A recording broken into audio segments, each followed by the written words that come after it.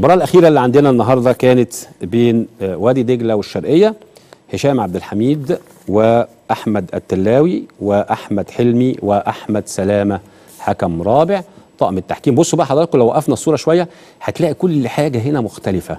تسهل من مأمورية الحكام. هتلاقي الشرقية بيلبس أخضر في أخضر في أخضر. وهتلاقي وادي دجلة أصفر في أسود في أس في أصفر يعني والحكام أحمر يعني الصورة بت بتسهل لك ال- ال- ال- العمل سواء جوه الملعب وبتسهل لك كمان اللقطات لما بتيجي تاخدها خاصة إذا كانت المباراة بتتلعب في تحت الأضواء ولكن المباراة كانت الحقيقة آه، في النهار. نروح مع بعض على طول أربع حالات بس خدناهم في هذه المباراة. هنشوف في الدقيقة أربعة تسلل عند الحكم المساعد الثاني. أنا من هنا شكيت في قراره ليه عارفين حضراتكم لأن هو شوفوا لاحظوا تحركه هو اتحرك في الاتجاه الغلط. أنت ليه بتتحرك؟ أنت المفروض بتبقى ثابت مع المدافع. أنت بتتحرك طبقا للمدافع. أنت سبت ليه المدافع؟ أهو لما ساب المدافع ارجع حضرتك لسنة لورا كده عظيمة لما ساب المدافع آه طبعا قراره هنا ما كانش صحيح. هو كان مع المدافع. وبص رجع ليه؟ ليه؟ راجع مع مين؟ ارجع تاني يا جماعة وريني الحركة دي عشان نقف عندها بس هو كده مع المدافع. مظبوط؟ طيب يلا اتفضل امشي. بصوا حضراتكم رجع. رجع ليه؟ انت بتتوه نفسك؟ يعني انت بترجع علشان توقع نفسك في الخطأ؟ طبعا لما رجع خلاص طار منه أو راح منه القرار. يا جماعة إحنا مرتبطين بالحك بال... بال... بآخر تاني مدافع.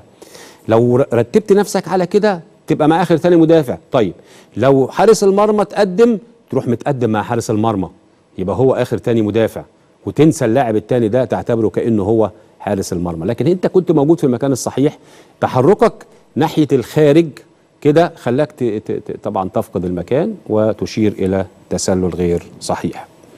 طيب نروح عند الحكم المساعد الأول بقى ونشوف هنا احتساب أيضا تسلل وهنشوف هنا اللعبة أو الحالة من الحالات الصعبة ليه؟ لأنها من بعيد شوية وهنا لازم يربط بين آخر آه، لح- لحظة لعب الكورة وخط التسلل. هو عامل خط تسلل رائع أحمد التلاوي وبالتالي كان الحكم على التسلل بالنسبة له هنا سهل.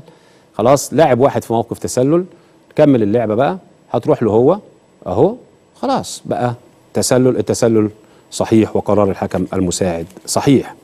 هنشوف هنا نتكلم بقى على لمسات اليد. حالة لمسة اليد دي نشوف آه الأول هو على الحقيقة يعني أنا أنا كنت متابع المباراة. الحقيقة قرار هشام كان من الأول. سيبك من الثانية اللي على الأرض دي. يعني دي جت في وجه اللاعب آه لو هو حاسب على الثانية برضه أهو أدي الكورة أهي جت في وشه تمام. يعني وهنا لا هو كان هنا بيوقف اللعبة. هو احتسب لمسة اليد من الأولانية. لو هو هيحتسب على الأخيرة ديت كنا هنمشي معاه لكن الحقيقة الصفارة طلعت قبل ما اللاعب يعمل كده وبالتالي القرار هنا آه، غير صحيح بالمرة يعني كمان التعامل لأنه هنا أصلا لم آه، تلمس اليد عندما احتسبها حكم المباراة. شوف هنا بقى المركز الخاطئ. التمركز الخاطئ عقوبته لما الكرة تخبط فيه. آه نرجع تاني نشوف المكان. هشام من الحكام الكبار أصحاب الخبرات. يجب علينا إن إحنا آه نقرأ اللعب كويس. بس نقف هنا. أنت رحت ليه؟ كملت ليه؟ خلاص أنت اقرأ اللعب. أنت هنا شايف مش محتاج تروح أكتر من كده أبعد من كده. أقف أقف خالص. وتابع اللعب من بعيد. مش هتقع في هذا الخطأ.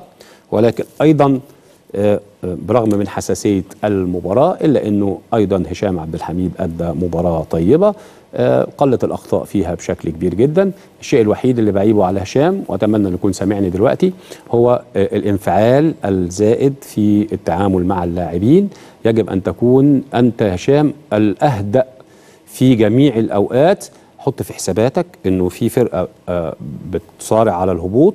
وحط في حساباتك إنك أنت وأنت بتتعامل مع اللاعبين ما تنقلهمش.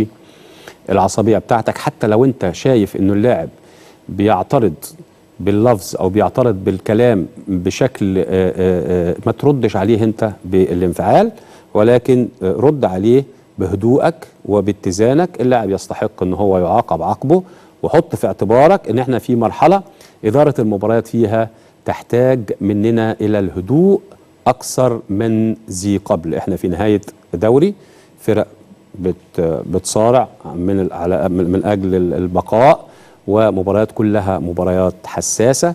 ويجب إنك أنت تنقل للاعب الاطمئنان من خلال التعامل معاه. ما بقولش إنك تتهاون معاه اللاعب المخطئ عاقبه ولكن الاطمئنان هيجي للاعب من ثقتك في نفسك وهدوءك.